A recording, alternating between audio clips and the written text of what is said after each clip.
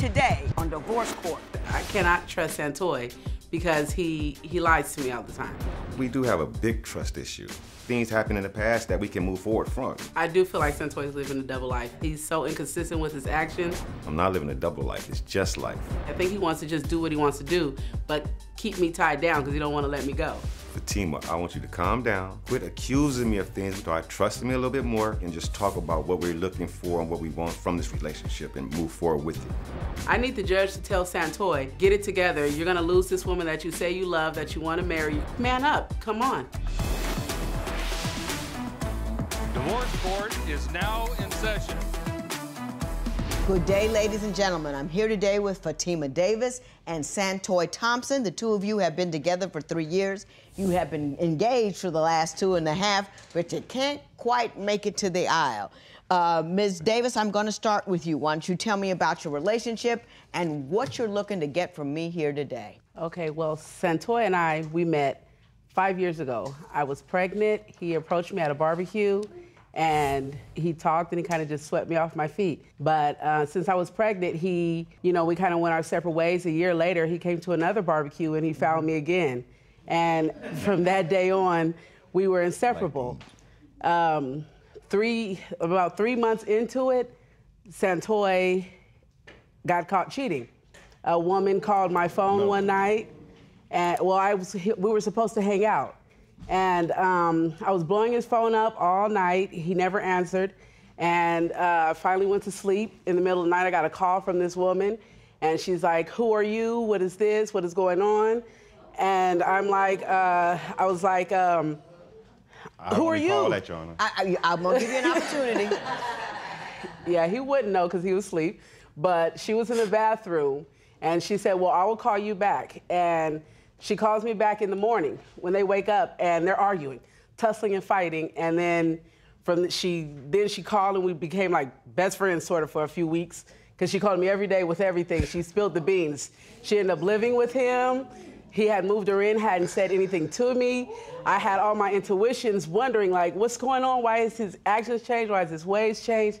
Everything. And he had already been proposing. I asked one of my family members, can I marry her? All the while set up in a house with another woman. Yes. And then Not you true. were talking to the other woman. Yes. Did you tell her he had proposed to you? Yes, I, I told her. And her response was what? She was crying, and yeah, I, I mean, it was like the voice kept replaying in my head every day. She was crying, and mm-hmm. She was going off, and I can't believe this. He's done this before to me, and I'm like, what? Mr. Thompson, what yes. is what is your version of those events? I don't recall none of that. None of that happened? I don't think none of that happened. None of that happened. When you first started dating her, within the first three months, were you still engaged in a relationship with somebody else? Not, not, not really. It was like a, more of a. We was going our separate ways at that time too. So you, so you, you were easing away from that other woman yeah, and easing yeah. your way it, over it, there. Over there, yeah. Trying to get so over you there. Don't, yeah. You don't have any recollection of an argument between the two women that upset, upheaval. Nobody came well, to if you. it was an argument like that, it had to be over her because she is just. She probably called and tried to find out some information, and the girl answered the phone or something. Okay. But no. it wasn't like that. It was like uh, she was a friend. She stayed with me for a minute, you know. And, and I didn't know. He didn't tell me. Can, can I ask you, Ms. Davis? Three months in, he's acting a fool like that. Why keep him? You know, I, I, I left. You're, you're right. You're right. I did leave. I did leave. I left. And what he would say is, I did engage in a relationship. I was so like heartbroken, and I felt like he was so perfect. Like within that time, he did everything perfect. He he swept me off my feet every That's day. That's called my... game. no, it's not. That's called game. I was into her. But let's move on. I want to know what happened about the Valentine's Day cruise. Oh. oh. So going going forward, we're supposed to be, you know, uh, being together and trying to get it together. And um, he's talking about this cruise. Him and one of his relatives are supposed to be going, and all this. So a, couple of months later, I see, I'm like scrolling through Facebook, and it's this one girl he has a nickname for. He has like his hand on her butt, and they're like, you know, like a couple, and everybody's commenting on the picture, like, you guys look good, you guys this and that and the third, and like I kept it, I kept it in. I didn't say too much, but I was just like, then I kind of just sent it to him. Do you remember that? Yeah, I remember that devil's okay. Facebook. What happened when she sent you that Facebook picture? Look, it was just a picture though. It was just a picture. We getting But off were the, you on a cruise with another woman? No, not not necessarily. Now let me talk to you about this here. Now the family. Either you were on the boat or you weren't. I was on the boat. I was on the boat, but I wasn't necessarily there with her. Not see- necessarily. That's right. Were you Now- living it? Were you in the same cabin with her? No, I wasn't. So nothing, nothing was amiss. There was No, no, sexual activity. it wasn't nothing like nothing that. that you couldn't, you, you couldn't nothing share like with that. her. Nothing like that. Did she lose her mind when she found out that you were on the boat? Yeah, somewhat. Uh, she's. I don't think she. She shouldn't have been nosy, tell you the truth, and going on somebody else's page. That's somebody else's page. So now, Mr. Thompson, we've been page. talking about, about you so far, so let me ask you about her. You say that you can't get engaged because she breaks up with you every other week. Every weekend. Explain that to me. if I don't call her, or if I, we just, you know, sometimes I don't answer my text or something like that, or if we just have a miscommunication, she'll break up with me. I won't hear from Fatima a couple of days, three days. Ms. Davis, do you do you break up with him every time you have an argument? I break up with him. All, yes, because I have insecurities from the beginning. From the beginning, he started this. He placed this. I I didn't believe anything was wrong with this guy. I thought he was so perfect and everything until this woman put all this in my head about him, and then he continued to lie about everything, make these lies. Uh, no, she didn't live with me. No, she okay, but she sleeps in your room, her and her daughter. How would? I understand what's going on here clearly. I understand Yeah. what, what's You going on here clearly. everybody besides me. now I, I, I want to change my focus a little bit from the past to to the desires of the future. Oh, my yeah. understanding is you're trying to get him to move in with you, and he just won't do it. No. So I want to figure out what's going on with that. What, what does she wear that you find inappropriate? Well, she's not all that tall already. Them heels got her looking like she's kind of a little taller, but she's really raised short. But see, when she put these little short mini dresses on, soon as she bend over like that, it's all out it's there. out, it's there. It's there. and You want some time to just let me see that. Right. Not everybody.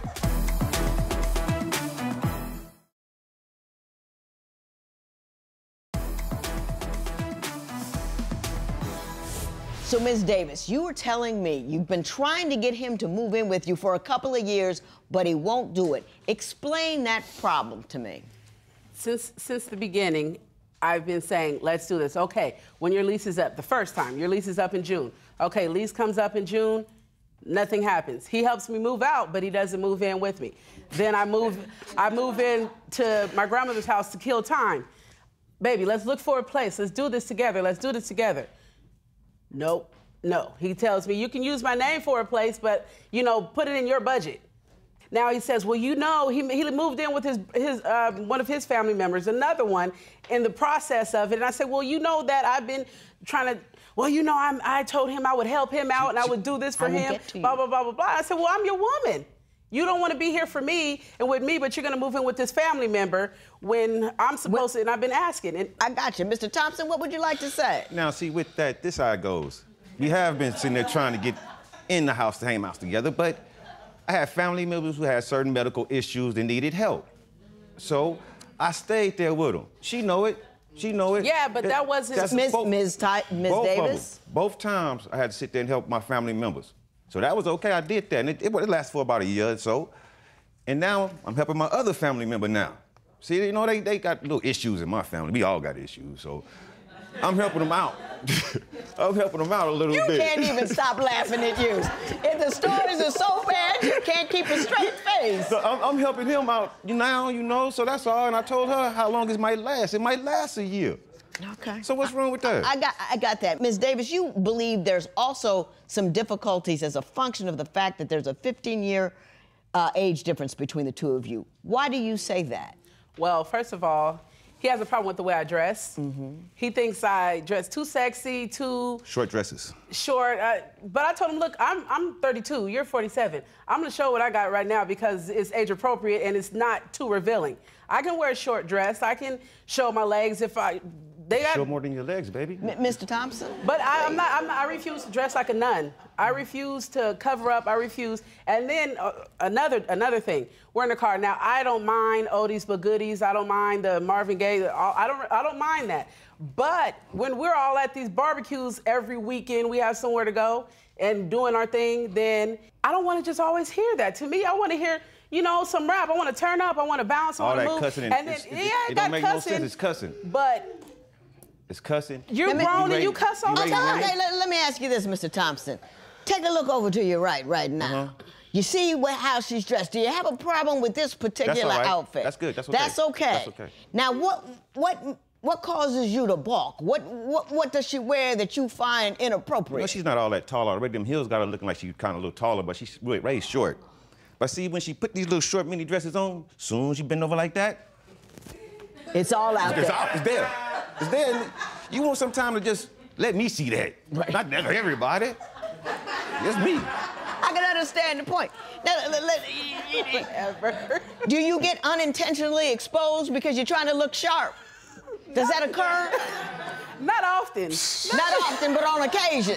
On, oca- uh, on occasion, some, sometime, and if it's, uh, yeah, just sometimes. You have a ward- wardrobe malfunction every once in a while. Every once in a while, majority of the time, I, I'm, You got it together. yeah. Now I'm with him with the, on the music. I'm just saying. After, after it fell out, you know, the Temptations. After that, I was done.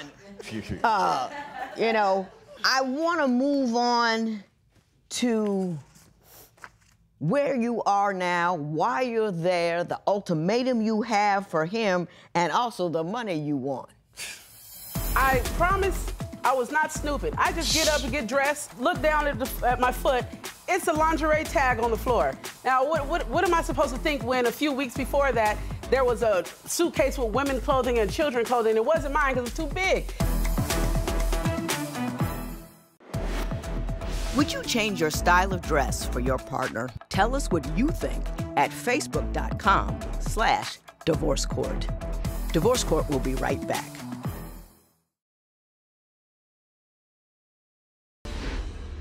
I have to ask, Ms. Davis, why do you want to lock down pain? You continue to believe he has a double life. He's cheated on you ever since you've gotten together. What is the point to attaching yourself on a more permanent basis to pain and hurt? Well, but I, well, but what I see are the, the positives. I know that I know that you know he was in a long-term relationship, so I know he can provide stability. When he was married, he was married for about 20 years, so I know he can provide long-term um, stability for me and my family, and just how he is with my children. He's wonderful. You know, he, he when we're together, I'm like his his world. He sees nothing else but me nothing else. When we're home, we we get along. You know, it's not real bad arguing. I just when he's gone, You don't know what he's doing. Don't know. at all yeah. because he won't answer the phone. And so if she don't know what I'm doing, Let me she ask quit you, me. yeah, let- let me ask you something, Mr. Thompson. Yeah. She wants to lock you down. This is Yeah, great. yeah, yeah, yeah. She wants to bring you in the house, shut that door, turn Lock that key up and keep you throw in it away there. too, huh? Is that Keep me in there. Is that what you're looking to do? It's just taking me a little longer than expected, but I want to do it. I, I really want to do it. so you're edging and you're, you're leaning in that direction. You Yeah. just haven't quite fallen just, over just yet. jumped over there yet, you know? I'm gonna get there though. I'm getting there. She just give me time. I'm gonna get there. Is there anything she needs to do to assist you Yes. in that Yes, direction? yes, yes, Please yes. tell me what that would be. Just give me a little trust. Just a little trust and understanding, and just quit just believing what everybody else say to her about me. But have you earned that trust, Mr. Thompson? I mean, I- some of the stuff that she has caught you doing is pretty blatant. She blatant. haven't caught me doing nothing. She haven't called me. She haven't called me. She haven't called me. She just accused me. I, no, if, if a person calls your phone, that's being caught. No, it's not. Second of all, every every every every No, hang Friday. on, hang on. Every Friday, he's supposed to be hanging out doing something with a family member. By a certain time of night, maybe six, even three, he won't answer his phone anymore. I'm at work. I work nights, so he's not answering his phone. He's a grown man. Why does he have to report? He doesn't have to report, but it's something to do temporary until we get this this situation fixed. If I don't trust you, I don't. Tr- I was at his house. Now he leaves to go to work. I promise I was not snooping. I just get up and get dressed, look down at, the, at my foot. It's a lingerie tag on the floor. Now, what, what, what am I supposed to think when a few weeks before that there was a suitcase with women clothing and children clothing? It wasn't mine because it was too big, and I hadn't even taken off any tags for lingerie, anything. I know I haven't. So where did this come from? Okay. Now- Let me, where did it come from? It fell out of some bag or something. I don't know about having that thing. But, it- cause see, look, I keep these little bags and stuff. Like when that lady quote unquote was staying with me. You know, I moved with my folks, so I haven't really unpacked a lot of my stuff. Mm -hmm. So when I'm looking for stuff, ain't no telling what might come out them bags. Cause I just threw everything in the bag. She she done been there with me. She know it ain't like that. I don't have no women coming over to our house like that. All like right, that. I hear like you. That. Now I want to talk about the puppy and the payments. Oh. Would you marry someone if there was a 15 year age gap between you? Share your opinion on Twitter and Instagram at Divorce Court.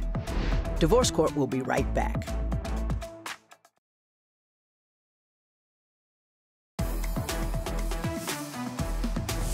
Now, you came here to get some assistance and talking this man to move in with you. But I guess in the alternative, if you can't get the man, you want some money. Tell me about the $420 you are seeking from Mr. Thompson.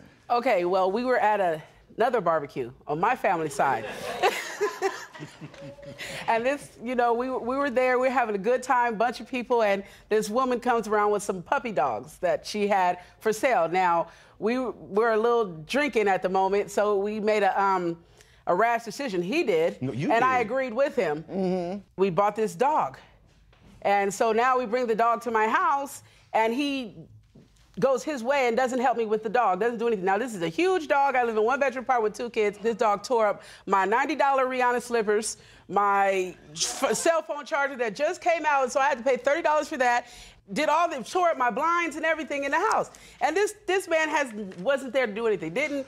And when he came back, he just started. I told him, he said, ha ha ha ha ha. and what about the rent? You're asking for food and half the rent. Tell me about that. Okay, so after that, he says, oh, well, man. he said he knew I had to pay my rent. This come with the dog. He knew I had to pay my rent. The rent was due, and I knew too, but I was just making a bad decision at the moment. And I told him. So he said he was she being a, a nice guy and said baby, you know, okay, how much you need? I will give you $200 for your rent. I said, okay. Rent time comes, what does he do? The day of rent, the first thing in the morning, he brings up this ex-girlfriend and her daughter. What he has to do for her daughter. And I, I, Mr. Thompson, I would ask you to respond. I don't recall that. Yeah, I, Mr. Thompson, I would ask you to respond, but there is no need because you know you're not getting any money from me. You need to quit begging him to come be with you. You need to walk on.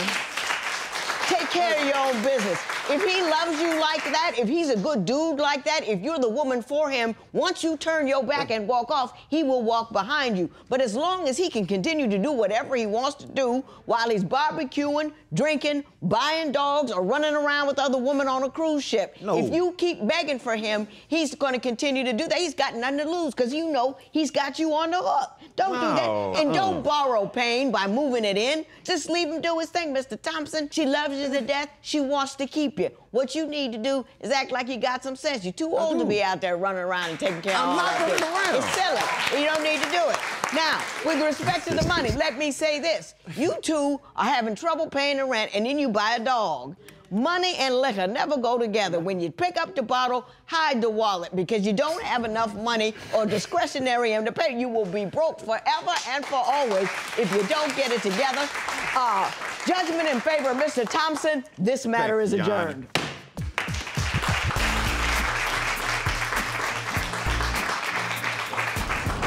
I have remained committed to Santoi because I, I, have I haven't found any other one better. I know he he cheats, he does he lies, he does silly things, but he has always respected me on a certain level. But when we're together, I'm respected higher, and I have never gotten that from anyone else.